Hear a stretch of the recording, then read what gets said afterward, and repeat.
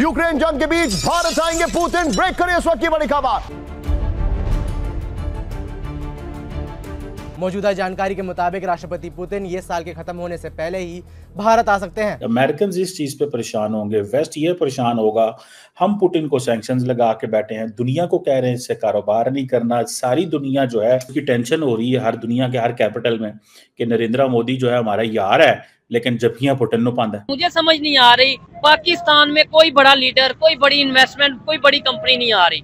लेकिन इंडिया से दिन खबर आती है कभी ट्रंप कहता है कि मैं सबसे पहला विज़िट इंडिया का करूँगा मतलब कुछ ही महीनों बाद। अभी रशिया के प्रेसिडेंट पुतिन की तरफ़ से खबर ये कंफर्म हो रही है कि वो भी जल्द इंडिया का विज़िट करेंगे। रशिया से उनके तलकात आज के नहीं है ये जब से इंडिया और पाकिस्तान बने ये तलकात उनके तब से हैं। पूरे दुनिया का मीडिया चाहे British media US media Asian media सब लोगों ने इसको रिपोर्ट किया है कि Russia Putin plans India trip defying US led efforts to isolate him. Joe Biden के अंडर यूएसए ने जो भी कोशिश करी थी कि ये आइसोलेट कर देंगे, रशिया को अकेला कर देंगे everything has failed so India तो रशिया से पीछे नहीं हटने वाला। ये जो करना है वेस्ट नहीं करना है। बड़ी, देखिए इंडिया की आज इकोनॉमी अच्छी ना ना होती। इंडिया एक आज कंज्यूमर मार्केट ना होती। तो उन्होंने इंडिया को साढ़े पंजाबी चाहते ने चने चबा देने इंडिया इस वक्त खुद एक ऐसी पावरफुल ताकत बन चुकी है जो अमेरिका का मुकाबला भी कर सकती है ठीक है चाइना का मुकाबला भी कर सकती है इतनी तरक्की कर चुके हैं। अब लेकिन इंडिया की इकोनॉमी इतनी बेहतर है। वो कह रहा भाईजान मैं तो है 2028 29 ਦੀ ਗੱਲ ਮੈਂ ਤੇ ਸਾਥੇ ਤੁਹਾਡੇ बराबर आ जाना इससे एक क्लियर रास्ता खुल जाता है कि इंडिया रशिया खुल के बात करेंगे इन सभी मुद्दों के बीच पुतिन के भारत दौरे पर पूरी दुनिया की नजरें होंगी और खबरों की माने तो कोई बड़ा खेल भी हो सकता है इन दोस्तों भारत का सच्चा मित्र रूस की तरफ से खबर आई है कि अब पुतिन साल के खत्म होने से पहले भारत विजिट करेंगे और इससे भारत और रूस के बीच में बायोलेटरल ट्रेड जो है और भी बढ़ेगा और भी एग्रीमेंट साइन होंगे। काफ़ी कुछ चेंज हो सकता है और भारत ही एक ऐसा देश है जिसने सबसे पहले शांति प्रस्ताव रखा था यूक्रेन और रशिया वॉर को लेकर।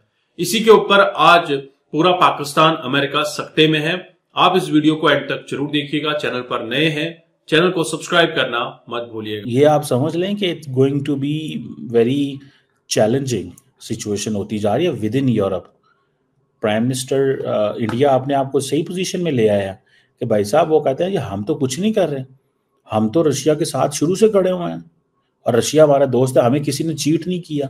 हमें आप जब आप पाकिस्तान के मिलिट्री डिक्टेटर को हौसला दे रहे थे, हमारे ये वहाँ सिर्फ़ हौसला रशिया से आ रहा था। ये कहता है जयशंकर।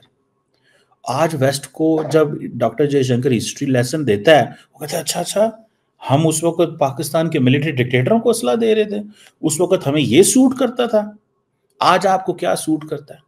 आज आपको इंडिया को असला देना सूट करता है। तो आप फिर हमें ना कहें कि आपने अगर चार बंदूक, दो राइफल, तीन पिस्तौल, एक कदा कोई टैंक टूंक देता है हमें, कोई शिप शुप देती है, कोई दो ड्रोन दे देते हैं तो आप कहें जी, आप रशिया से पीछे हट जाए, हम नहीं होंगे। हमारा उन्होंने रशिया कभी भी इंडिया के इंटरेस्ट के खिलाफ नहीं गया। तो बात तो सही है, पूछो कैसे? वो ऐसे कि कश्मीर के मसले में इट वाज इंडिया जिसकी सपोर्ट हमेशा रशिया करता था। आपको पता है, अमेरिका पाकिस्तान के साथ खड़ा होता था कश्मीर के मसले के ऊपर। कश्मीर में, क्योंकि क्योंकि अमेरिकन को भी पता था कि रशियंस ने वीटो कर देना। जब भी कोई कश्मीर के ऊपर रेजोल्यूशन आता था तो रशियंस वीटो कर देते थे। और आज देख ले पाकिस्तान कहाँ खड़ा है। ना साडा अमरीका रहा, ना साडा रशिया। इंडिया कम अज कम ये तो कह सकता है कि रशिया हमारा है पिछले पचास, सत्तर सत्तर साल से आज अमेरिका के भी हम करीब हो रहे हैं। और हम किसके साथ खड़े हैं? ये भाई साहब, बात है, ये स्टोरी है और ये ये आप समझ लें कि ये एक बहुत बड़ी एक चीज़ है जिसको थोड़ा सा एब्जॉर्व करने की ज़रूरत है। कोई पैगाम अभी तक इनिशियली जो बायलैटरल्स में आनी है, देखिए बायलैटरल में आप देखें ना, ठीक है प्राइम मिनिस्टर मोदी जो है वो एक एक as a as a diplomat भी एमर्ज हुआ है। ठीक है? उसने डिप्लोमेसी में भी अपनी स्पेस बनाई है। ठीक है? अब ये जो चीज़ है कि असला हमें सिर्फ़ और सिर्फ़ रशिया देता था, तुम हमें क्या देते हो? बेसिकली वो उनके लिए मुश्किल हैं इस वक्त जो फॉर द वेस्ट एक तो इंटरनल डिसऑर्डर क्रिएट हुआ है रशिया की लड़ाई है, दुनिया के बाकी मुल्कों को साथ में लाना पड़ता है तो मुश्किल होती है। मुल्क साथ नहीं देते। मुल्क साथ नहीं देते। और वो साथ इसलिए नहीं देते, वो कहते केड़ी गल का थोड़ा साथ दी ठीक है? आप एक दिन हमारे साथ होते हैं, फिर आप गायब हो जाते हैं, जब आपका इंटरेस्ट खत्म हो जाता है। आपको लॉन्ग टर्म ताल्लुक बनाने नहीं आते। इसीलिए तो अमेरिकन इस दफ़ा जब पाकिस्तान के करीब आए अफ़गानिस्तान में तो जब दूर होने लगे अफ़गानिस्तान से जाने लगे तो कोई पाकिस्तान से लड़ लुड़ के नहीं वो गए। बस उन्होंने यही कहा खामोश रहो। उन्होंने भी पा, जैसे पाकिस्तान की अप्रोच है ना अमेरिका के बारे में खामोश रहो। अमेरिका भी की अप्रोच पाकिस्तान के बारे में यही है खामोश रहो। कि पब्लिक ओपिनियन बड़ी ख़राब हो जाएगी आपके अगर एंटी पाकिस्तान नैरेटिव स्टैब्लिश करने की कोशिश की तो। ये वो कहते हैं। और रशिया से उनके तलक़ात आज के नहीं है ये जब से इंडिया और पाकिस्तान बने ये तलक़ात उनके तब से हैं। हम्म। उन्होंने कभी अपनी स्टेट को स्विंग स्टेट नहीं बनाया। हम्म। वो शुरू से ही रशिया के साथ खड़े हैं। हमारी तरह नहीं है कभी एक प्राइम मिनिस्टर रशिया जा रहा है हम्म। कह रहा है कि हम रशिया से तलक़ात बनाएँगे। दूसरा आता है कहता है नहीं जी हम यूएसए से तलक़ात बनाएँगे। तो इंडिया बहुत क्लियर है अपने तलक़ात को लेके। वो हमारी तरह नहीं है कि हमारा प्राइम मिनिस्टर जा रहा है। मिलने वो प्यूटन से जा रहा है जाके मिल वो कैमरा मैन से हाँ, रहा है। वो बात भी मैंने कर हमारे प्राइम मिनिस्टर की मुलाकात पुटिन से होती है एससीओ मीटिंग में। तो पुटिन साहब बड़े प्यार से हाथ बढ़ाते हैं तो शबाश पुटिन को इग्नोर करके पहले कैमरा मैन से मिलते हैं तो फिर जाके पुटिन से मिलते हैं। इतनी एम्बेरसमेंट टर्की जाते हैं तो टर्की उर्तुगान के कान में बार बार कह रहे भाई तेरे लिए आम लाया हूँ तेरे लिए आम लाया हूँ। क्या मतलब उन्होंने कभी आम नहीं खाए? क्या क्या क्या बिहेवियर है? ये तो चलो प्राइम मिनिस्टर तो नलायक है ही है। ये तो फॉरेन ऑफ़िस वाले लोगों का काम है। प्रोटोकॉल हाँ, हाँ, उसको फॉरेन प्रोटोकॉल सिखाए कि भाई आप प्यूटन से मिलने आए हुए हो कैमरा मैन से नहीं मिलने आए हाँ, हुए। पर आम तो हम वैसे भी उसको भिजवा सकते हैं। प्राइम मिनिस्टर इसके लिए थोड़ी है कि पूरा जहाज़ लेके जाए कि उसको प्राइम मिनिस्टर ऑफ़ टर्की को आम देने जाए। भाई आप कोई ट्रेड हाँ, हाँ। उनसे एग्रीमेंट करें बोले मैं ये इन्वेस्टमेंट अपॉर्चुनिटीज़ लेके आया हूँ। आम थोड़ी लेके जाता है प्राइम हम्म। मिनिस्टर ये तो लोगों के घर मिलने जाए तो वो लेके जाता है। ये प्राइम मिनिस्टर का काम थोड़ी है। घर का पुटन ने अपना विज़िट करवाया और बताया कि मेरे घर में मेरी ये ये चीज़ें मेरी पसंदीदा है।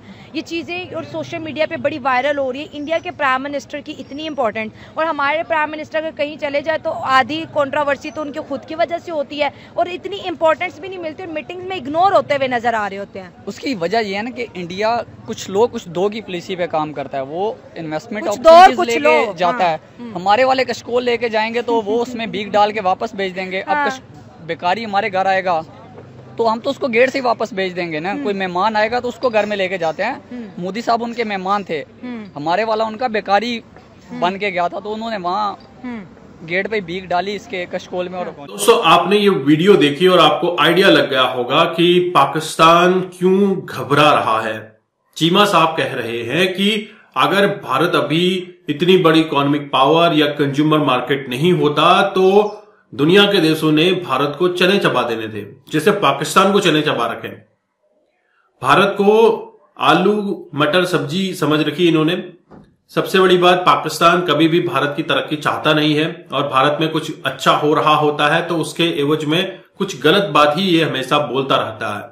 और चीमा साहब की शक्ल देख के तो साफ़ समझ आता है कि भैया, ये खुश नहीं है पुतिन के आने से। खबर यह भी आ रही है कि डोनाल्ड ट्रंप 20 जनवरी को जब प्रेसिडेंट पद की शपथ ले रहे हैं, उसके बाद सबसे पहला विज़िट भारत का करेंगे। इससे पाकिस्तान और भी दुखी हो रहा है। चाइना के पंख लग रहे हैं। दोस्तों, ऐसे में पाकिस्तान, जो कि चाइना से बिज़नेस कर भी रहा है तो उसको धोखा दे रहा है। 115 मिलियन डॉलर का फ्रॉड अभी अभी चाइना ने फ्रेशली किया है। इसके बाद चाइना का अल्टीमेटम पाकिस्तान को कि हम सीपैक बंद कर देंगे। दोस्तों, एक तरफ़ रशिया और भारत के रिश्ते मज़बूत हो रहे हैं, भारत और अमेरिका के रिश्ते मज़बूत हो रहे हैं, वहीं पाकिस्तान अपने अबू चाइना को धोखा दे रहा है। और ऐसे पाकिस्तान कहाँ खड़ा रह पाएगा? और रशिया से जब पुतिन आ रहे हैं तो काफ़ी कुछ चेंज होने की उम्मीद है। काफ़ी नए सौदे, नए एग्रीमेंट साइन होने की उम्मीद है, जिससे भारत और रशिया के बीच में रिलेशन स्ट्रांग हो।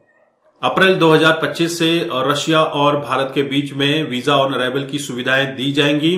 बोले तो Indian tourist of Russia without visa जा सकते हैं। वहाँ पर वीज़ा ऑन अराइवल की फैसिलिटी आपको मिलेगी, जिससे आप वहाँ पर ट्रेवल कर सकते हैं। कोई बिज़नेस अगर आप चेक करना चाहते हैं बिज़नेस भी देख सकते हैं। साथ ही साथ आप वहाँ पर इंजॉयमेंट भी कर सकते हैं। ये रशिया ने इंडियंस को इसलिए ओपन किया है क्योंकि इंडियंस भरोसे के लोग हैं।